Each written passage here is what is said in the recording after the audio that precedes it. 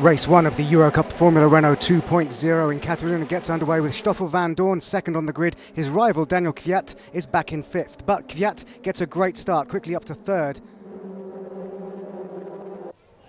And there's a massive collision, multiple cars off, including Albon, Kujala, Pizzitola and King, which inevitably brings out the safety car for a considerable period of time.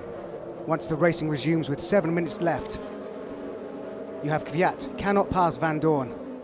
Oscar Tunjo from Colombia stays first under pressure.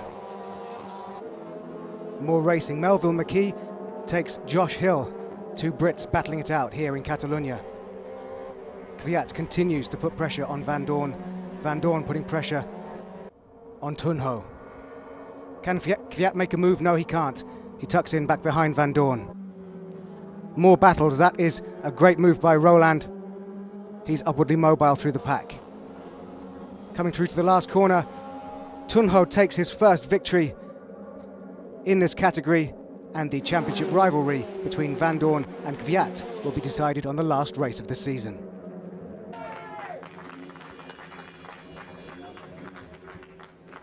It was hard because Daniel did an impressive start and overtaking, but uh, I thought that they were gonna be very careful because they're fighting for the championship. So it was hard to have them behind, but it's very nice to be in top with them.